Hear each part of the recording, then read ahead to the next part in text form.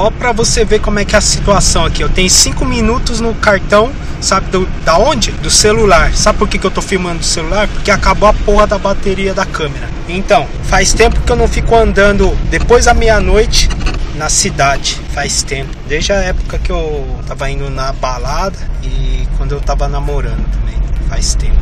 E eu tô um pouco mal acostumado em andar esses horários. Depois daqueles assaltos nervosos que eu tive um relâmpago sequestro também, pra mim hein, tá um pouco assustador. Ah, meu Deus, ainda bem que eu tô com carregador, dá pra carregar lá no hotel, enfim. Nunca filmei muito com a câmera do, do celular, mas essas câmeras de hoje em dia filmam bem, né, mano? E eu ficar filmando o cara aqui da frente, o cara tá achando que eu sou ladrão. Ou ele é um ladrão, né? Não sei.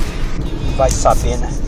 Então, outro dia eu fui comprar também um suporte para colar aqui no vidro do carro, mas eu não achei, mano. Eu não achei um suporte pelo menos que dê para colocar a câmera ou celular, porque quando eu fui não tinha suporte para filmador, lógico, claro, mas eu fui comprar um pelo menos para um celular ou algo do tipo que tinha acabado, mano. Ó, mó deserto, mano, esses horários acaba todo o movimento, mano. Só alguns carros e esses alguns carros que são perigosos, né, mano? A gente tem que ficar ligeiro, mano. Tem que ficar esperto nessa porra. E essa, esse celular é ruim pra caralho pra você desligar e ligar ele, mano. O sistema dele não é no botão, mano, é no paradinho aqui na tela, mano.